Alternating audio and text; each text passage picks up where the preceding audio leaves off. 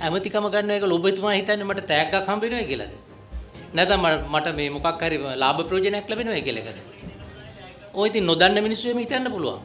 මම දේශපාලනය කරලා තියෙන එදා ඉඳලා අද දක්වා මේ රටේ ජනතාවට සේවය කරන ප්‍රතිපත්ති දේශපාලනයක් මම ඔය දේශපාලනය කරලා සත පහක් ගෙදරගෙන ඉපු මිනිස්සෙක් නෙවෙයි. මගේ පඩියවත් මං අරගෙන නැහැ මගේ ප්‍රයෝජනෙට. ඒ නිසා ඒ අවස්ථාවේ මට මේ රටේ ජනාධිපතිතුමා ආරාධනා කරා ඔබතුමාට වෙච්ච අසාධාරණේ ඒක ඔබතුමා මගේ ඡන්ද නියෝජිතයා. ඔබතුමා විතරේ ඡන්දේ කවුරුත් මහන්සිුනේ නැහැ මේ ඡන්දේ දිනන්න. මම තමයි එතුමා පොදු අපේක්ෂකයා කරගන්න සිරිකොතේ කෘත්‍යාධිකාරී මණ්ඩලයේ තනියෙන් සටන් කරේ. කරලා යෝජනාව අනුමත කරගත්තේ. එහෙව් මට සිද්ධ වුණා මේ පක්ෂ ඉල්ලීම නිසා මගේ සහෝදරයෙක්ගේ බෙල්ල කපන්න මගේ අතට කඩුවක් දුන්නා වගේ ඔබතුමාගේ අස්වීමේ ලිපිය අස්සම් කරන්න සිද්ධ වුණා. එතුමා මේක ගෙදර දවස් ගානක් තිය මං කොනේ ඔබතුමා අස්සම් කරන්න. ඔබතුමාගේ එකඟතාවය පක්ෂෙත් එක්ක UNP එක ඉල්ලුවොත් මාව අස් කරන්න කියලා අස් කරන්න ඕන.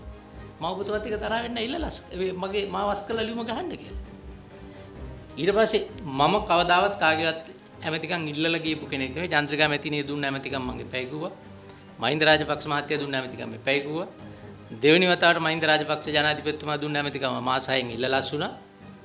මේ වෙලාවේ හම්බන්තොට ප්‍රශ්නේදී සිරිකොතේ කෘත්‍යාධිකාරී මණ්ඩලේ මෙතුමල්ලා හිටියා.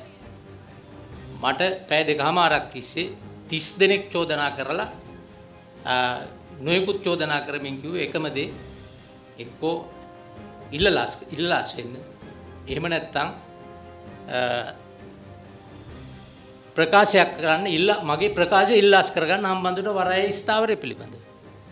මංකව මගේ හෘද සාක්ෂියට එකඟව ගත්ත තීරණයක් මේ සිරිකොතේ කෘත්‍යාධිකාරී මණ්ඩලය නෙවෙයි දේව මණ්ඩලේ නියෝගයක් ආවත් මං වෙනස් කරන්නේ නැහැ කියලා පුළුවන් දෙයක් කරන්න කියලා තමයි මං එළියට ආවේ.